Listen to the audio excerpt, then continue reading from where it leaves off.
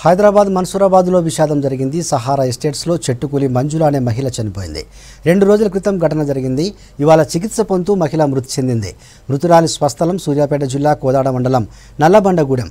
మహిళ మృతిపై విచారం వ్యక్తం చేశారు మన్సూరాబాద్ కార్పొరేటర్ కొప్పుల నరసింహారెడ్డి.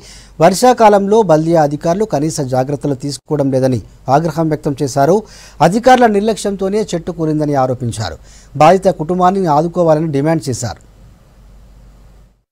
సహారా ఎస్టేట్స్లో నిత్యం పని చేసుకునేటువంటి మంజుల అనే దాదాపు నలభై ఐదు నలభై ఆరు సంవత్సరాలు ఉన్నటువంటి మహిళ నిన్న రెగ్యులర్గా పని చేసి ముగించుకొని ఈ చెట్టు ఈ గుండా పోతుంటే ఈ చెట్టు కొట్టేయడం జరిగింది. ఈ చెట్టు మీద పడిపోయి ఆమె అక్కడికక్కడే స్లో కోల్పోవడం జరిగింది. ఇక్కడ వెంటనే స్థానిక వాళ్ళందరూ కలిసి హాస్పిటల్ తీసుకుపోయినా కూడా ఆమె నిన్న ఈవినింగ్ చనిపోవడం జరిగింది.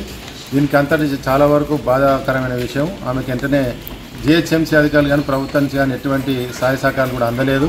సహారా ఎస్టేట్స్ వాళ్ళే లక్షన్నర వరకు సహాయ సహకారాలు అందించినట్టుగా మాకు తెలిసింది కానీ దీని అంతటి కారణం కూడా జిహెచ్ఎంసీ అధికారులు చాలా వరకు నిర్లక్ష్యం ఉన్నది.